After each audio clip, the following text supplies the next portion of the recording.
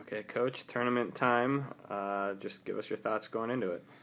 Well, the girls are relaxed. Uh, you know, they, they've, they've got. A, I think they understand that they they come in here to represent the University of Idaho, and they've got an opportunity to do something that no other team's done in Idaho's history, in that in terms of soccer, and that's to potentially reach a, a WAC final and hopefully beyond. So they know what's required of them. Um, they've been practicing well, and they're very buoyant and bubbly, and we're we're looking forward to facing Seattle for the third time in eight days and see how the cookie crumbles.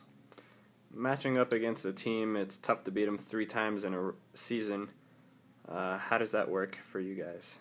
You know, I haven't heard much of that. Maybe it's an American thing. I, I, I really haven't heard much about that prior to this week and this situation. Um, we know what they're capable of. They've produced the goods. We've got to go out and show them what we're capable of, and and we'll put our hat in the mix and see what happens at the end of it. But we're as well prepared as we can be, and we're going to give it a hell of a shot.